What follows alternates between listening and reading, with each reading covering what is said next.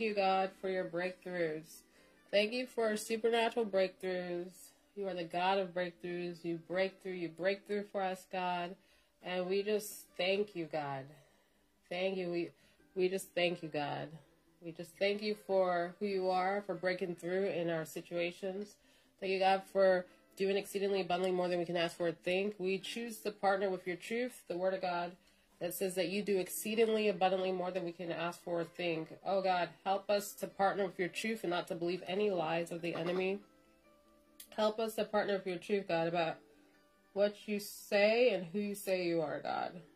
You're the God of miracles. You're the God of breakthroughs. And I just say hallelujah and thank you for the breakthroughs in my personal life. And I thank you for the breakthroughs that you are doing in other people's lives too.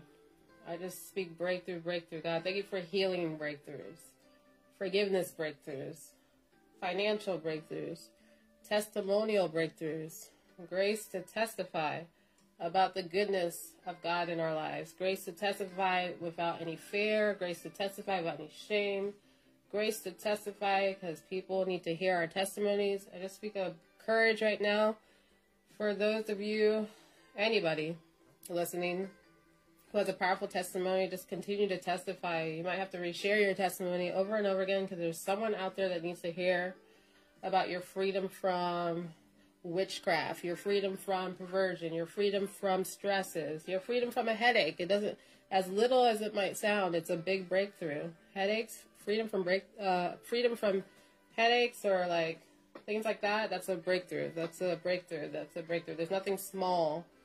There's nothing small in God's kingdom. I think it's all big. Thank you, God, for your comfort. Thank you for the testimonies, God. I can think of the time where you healed somebody um, I can think of a time at Walmart where a lady said that she just wanted a hug, and that brought warmth to her, and that made her feel the love of God. And I thank you for the hugs of God.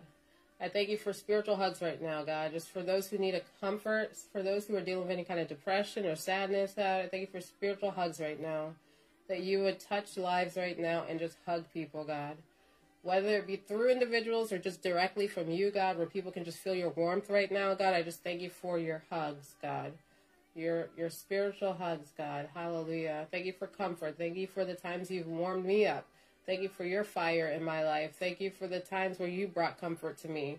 Thank you for healing of uh, sickness, healing from uh, perverse things, God. Thank you for supernatural miracles and breakthroughs in my life, financial breakthroughs. I speak that over anyone who needs a financial breakthrough right now, just a miracle in their finances. I say, do it again, Lord. Breakthroughs, financial miracles, God. I thank you for provision, God. Thank you for breaking through and bringing provision for those who need help right now in this hour. Thank you, God, for helping individuals that need help with their gas. Thank you for funding um, individuals, funds for individuals right now. Thank you for helping people with travel. I thank you for supernatural breakthroughs for travel. Thank you, God, for financial breakthroughs and miracles for salaries.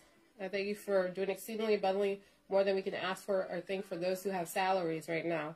Thank you for the generosity of the saints. Thank you for those who are blessed to finance the kingdom and that give willingly or freely, sorry, that give freely because they want to. Hallelujah. Thank you for emotional healing. Thank you for freedom from fear and anxiety. Thank you for freedom from panic attacks, God. Thank you for breaking through in my life. Hallelujah. Freedom from panic attacks. Thank you for freedom from social anxieties. Thank you for grace, grace to go places, to go out and do kingdom work. Hallelujah. Thank you for those miracles testimonies. Yeah, thank you for the freedom to testify. Freedom to testify because you are good. You are good and you're worthy of all praise. You're worthy of all praise. You're worthy of all praise. Hallelujah. I speak peace right now. I speak healing. I speak God's perfect peace and his purposes and plans. Thank you for our hope in the future, God. Hallelujah.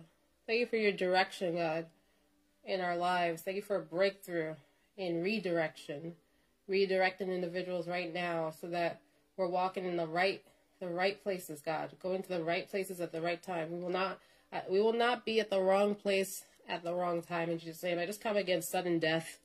I come against accidents by the blood of Jesus. I declare it null and void. Just pray for yourself, pray for your family, just pray God's protection. That accidents are not your portion. No accidents. I just bind the spirit of accidents in Jesus' name.